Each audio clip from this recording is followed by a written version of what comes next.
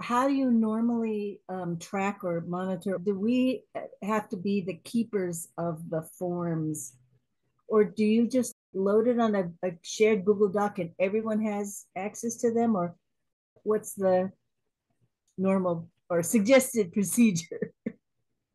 Seems like a lot of tracking all these things. Yeah, so the way we do it, we have a group of organizers and we keep all the forms in one place. And then we make everyone so let's say I'm the person that's interacting with someone who's borrowing or using the battery. I'd collect the form and I'd make all the other organizers also aware that, hey, this battery has been loaned out to such and such, and that's where it is. So when it comes time for collecting or reconciling, I may not be here. Everyone's aware of where the battery is, what the battery's doing, and so forth. But those forms we keep ourselves and we keep in a database ourselves. Every community, again, I think will be different. We're just giving you the overview of how how we have chose to do it here. Okay, because that's what what seemed to me the missing link, even when I was trying to fill out the template. It's like, how does anyone know where the battery is at any one time, and then who the person is that needs to receive a battery request form, or any of that stuff. Yeah. A lot of time i know you guys have heard us say like every community is going to be different but it's, it's a very real thing. Like you set this up with uh, let's say a church community. You may go hey we see each other every sunday or every friday. We don't need to have a sign up form. Like i know jacob or i know tina and she's here every if it's that type of community that's what you guys are setting up for your community. That may work perfectly fine uh, you guys guys may choose to house the battery in, in the church in some room or something like that. Like all of these are possibilities. So we can't really say do it this way. We can say these are all options. And it's all going to be based off of what your community looks like and what your community needs are. So we're a little detached from each other, but we're close enough. So we communicate we know how to get to each other's residences if we need to so that's this is what works for us so just deeply excited to to dream and build with y'all and deeply grateful that y'all been building this community support network and also just offering a seed in terms of security culture when we're gathering each other's information personal information too. One of the things that we've done that just ongoing is what is the bare minimum of information that we actually logistically do need in practice for this project. I don't need to ask someone for their social security number or item number or their grandmother's address or their password for their thing, right? So do do I need phone number, email? Do I need their physical address? Do I actually need to know that? Or do I just need this? And also like where are we storing this information? So Google Docs, Google Forms, is really accessible for a lot of people. And so like that's really important in terms of access. It's also really accessible for law enforcement and all of the things. And so where are we storing also like for our folk, a lot of our neighborhood our grandmama is 60 to 90 years old who do not have access to smartphones, let alone the internet. And so also like hard copies do we have hard copies that we keep someplace or do we have hard copies available for folk as another accessibility thing and then we go and type it up into a form? Do we keep that in like an encrypted thing on the cloud but there's other like Tresorit for example or proton mail right? Proton mm-hmm. mail is one of the in terms of encrypted email is one of the the ones that's really lifted up. I use it. It's fantastic they have a new like Google Docs, but encrypted. It's a little clunky, right? Uh, but also just that internal question. And I say that because like with batteries, we also use those, we use them a lot. The ones that we already have access to, we use them after hurricanes for ventilators, for keeping a mini fridge, for keeping insulin codes.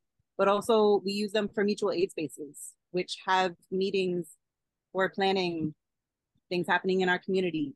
We've also used them as the PA system for protests. There's federal felonies for conspiracy stuff about planning protest actions in our community that are going around. And so when we're thinking about batteries, that may seem really disconnected, but it's also like we've gotten charges for having medic kits, like mutual aid being criminalized actively. So not to dive too deep down that rabbit hole, but just what is the bare minimum of information that we need um, to logistically work? And then also, how can we be really respectful of these people that we love and not putting them at risk um, for how we keep and store that information? So just planting that seed and grateful for advice for things that y'all found that work well in your community too. Yeah, thank you for sharing these thinking that's up on your on your mind and Meredith. These are really important things to be kept in mind for sure. And we're definitely a community for all of us to be open to keep sharing. So thanks for modeling that as we learn and grow together. Alice, question. Yeah, I want to thank Anne Meredith too for that uh, great point. So that I that was one of the questions I had on the, one of the forms. I forget which one. You asked for a picture ID like the driver's license. Why was that? Can you can help us understand why that was on there? I just want to make sure everyone understands that every community is different. What's required in one community may not be required in a different community.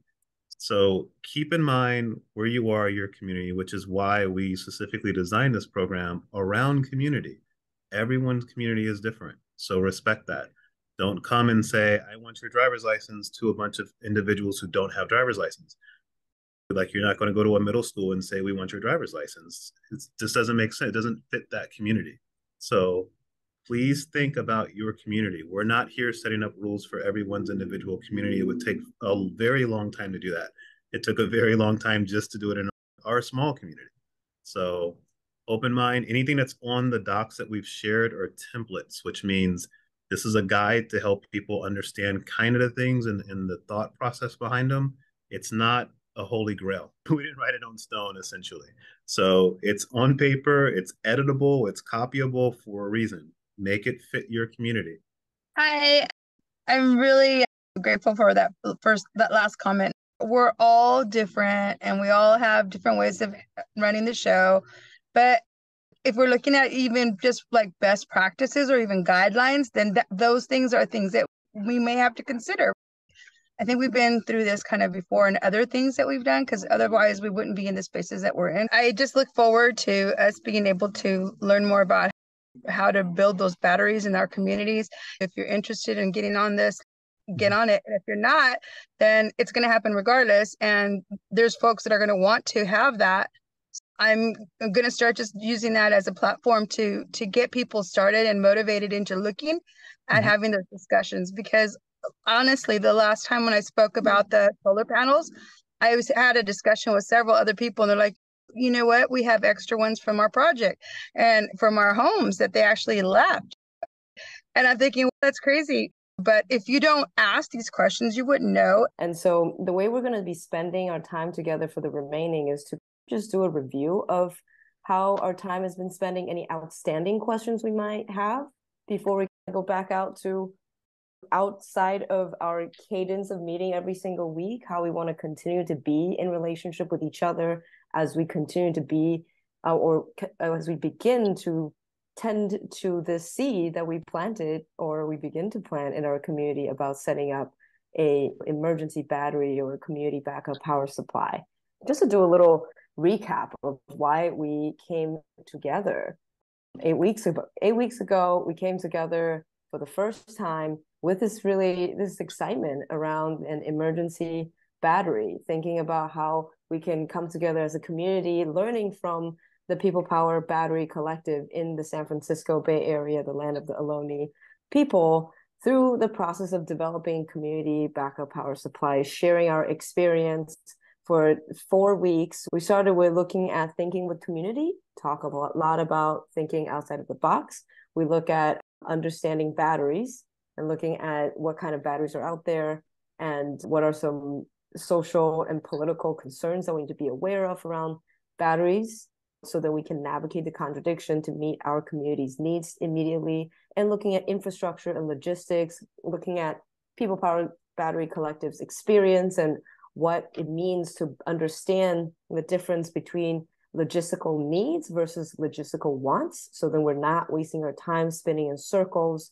And then we also spend some time experiencing building collective culture and operations sitting through just thinking through questions we have and practicing how we can hold questions hold differences and opinions as we reach collective uh, agreement in diverse viewpoint. And how do you hold that space? And we're hoping that now we're reviewing now we're at the final week that you feel activated to set up community backup power supply that we we hope that at this point that you are able to organize and host community meetings around battery sharing and also to be able to make the connection on how to use the tools to organize more sharing resources. So it's looking at this not just about battery. And the whole concept we just talked about around the launch plan is to help you implement a lot of the the sessions and the concept that has been shared over the past seven weeks. And um, we're hoping that we get to get a sense of what that will look like in your community. And the idea here is to just review the launch plan because, in many ways, it is a framework for you to think about what this could look like in your community. So, as you notice, for those who've been copying, making copies of the launch plan document, you will notice that there's some yellow highlights. These yellow highlights is just I wanted to make space for people who's already submitted a launch plan to share what you've tried and what your thinking is. And we can all hear from each other. And especially for the people who feel like maybe you don't really know what how to answer some of the question you can we can hear from each other and just bounce some ideas um, because this is our last time together. Big thanks to tom for um, offering the labor of basically like giving individual one-on-one feedback going forward but to make sure that we can move through things more collectively and not putting so much labor on one person. Spaces like this we have right now is really important for us to offer what we can collectively offer so we're not putting so much on one person. So just highlighted some key questions here that will be really great to hear from people who've completed their launch plan to hear your plan if you feel comfortable. And I would really like if Kyle, you feel comfortable to share what you all are thinking since you already submitted so early. Hey, happy to, Crystal. Thank you. Yeah, we're a bit different that we're not just a community, we're a collection of communities. I'm the program and policy director for Alabama Interfaith Power and Light, which of course is state based, and the People's Justice Council, which is mainly Southeast U.S., but uh, really national and, and international in, in, in, scope. And we are just wrapping up our first federal grant, something we call From Resilience to Restoration. And this emergency battery collab is perfect training. It, it, it's just what we need for, for sharing with the frontline communities that we work with. This was a Gulf state oriented grant, but we're actively seeking monies to take it the Gulf South to the, to the whole South. But, um, but we have existing Gulf partners in uh, Florida, Alabama, Mississippi, Louisiana, uh, and Texas. And yeah, we, we want to uh, to do what y'all are doing, replicate this program, make it available, uh, push it to our state partners, and if we can uh, escalate and, and, make it scale. And and yeah, I'm, I'm uh, really excited about your library of things upcoming collab because that's something else that I'm very interested in for, for a restoration plan. If you're wondering what from resilience to restoration means, is what we're all doing resilience work. We're all tired of doing resilience work. We get right down to it because telling frontline communities we're here to help you become more resilient is kind of like saying we're here to help you roll with the punches. No, we've got to stop pummeling our front got to move from resilience to restoration. Like the wise coach says, you can't win if you play a purely defensive game. And this is restorative work here. So I will leave it at that. Thank you. Yeah. And thanks for starting by naming that you're a very different situation um, because in many ways we are all very different and would be really great to hear from kyle your experience or your expectation of how you will be engaging and inviting your members to participate in the work even in your case of being wide what would the outreach plan and strategy look like what are some strategic partner that you're thinking about working with are there any um, existing communication method that you're already in the community with each other where it could allow this battery sharing work? Yes, indeed. Um, so, from resilience to restoration is a three tiered system, and really looking at three kinds of restoration ecological, economic. Of course, when you're talking frontline communities, we're talking economic elevation, not restoration. And since we're both ALIPL, PJC, interfaith organizations, we've got an ecumenical or an interfaith component because our typical partner at the local level, I, say it's three tiers. So there's National Resource Online, there's our state hub partner in Florida. It's Unitarian Universalist Justice Florida, for example, that, that is operating state hub there. But our real focus is on frontline houses of any faith because we're an interfaith organization. And um, we already know that houses of faith and frontline communities operate as resilience centers. They are doing so much important work, both in, in disaster prevention and recovery. And, again, we want to shift that focus from resilience to restoration. Thankfully, with, with our Gulf states, we've got, we're considering our first cohort of partners. We just wrapped up an 18 month grant funding from the National Academy of Sciences, Engineering, and Medicine. So we've got frontline partners in Jackson, Mississippi. Uh, there's a univer- Unitarian Universalist church there that's heading up the work. And sure y'all have all heard about the, the, the water issues and, and many other problems in, in Jackson. Talking about scaling, we, we would just replicate y'all's wonderful model, share it with the Unitarian Universalist Church in Jackson, and let them operate as the local library uh, for batteries and tools and whatever. Thank you for that, Kyle. For me, I will say that hearing Kyle's story, I immediately want to feel like, oh man, it'd be so great if we could just reach out to our the houses of worship in my community to start thinking about scaling, to start thinking about bigger size.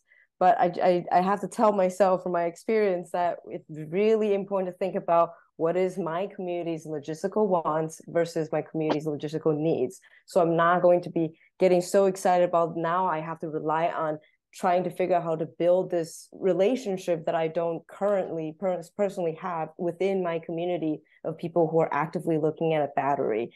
Really thinking about what the existing communities look like so then we're not trying to start from scratch to try to figure out, like, oh, talking to so and so type of network of people would be really good, but I, I only know a few people. Let me talk to my council members.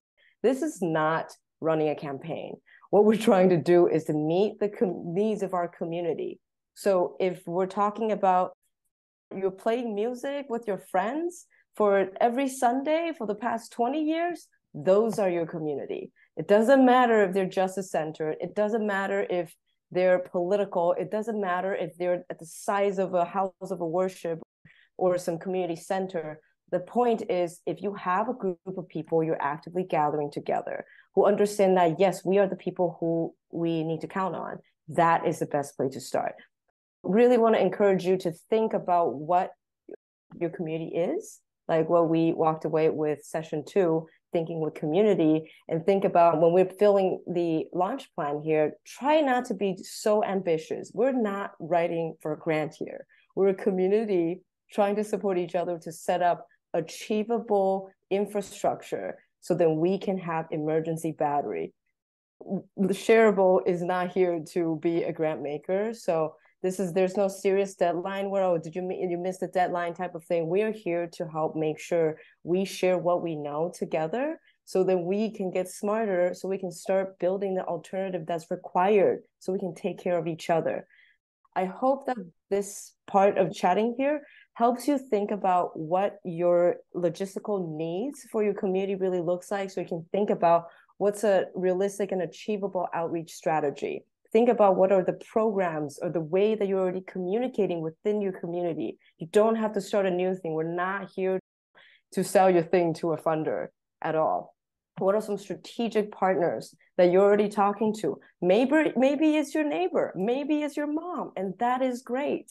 We don't have to find some city member or some big coalition to to like co-sponsor for you. We are not doing this for funder we're doing this for ourselves.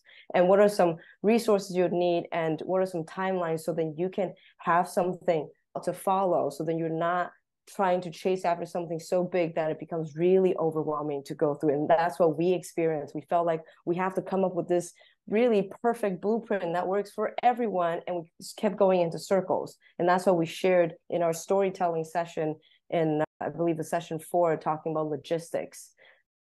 So we share these sessions, our learning through the sessions with you, hoping that would be really helpful for you to think about what your launch plan would look like. So how can we make sure our dream can continue on? Now think about who are the people that you can keep sharing these batteries with so that you can share your stories because if you have a community of people that comes together every Sunday and play music for 20 years, I am so jealous and I am so much more jealous about that than a network of hundreds of people, thousands of people across the state.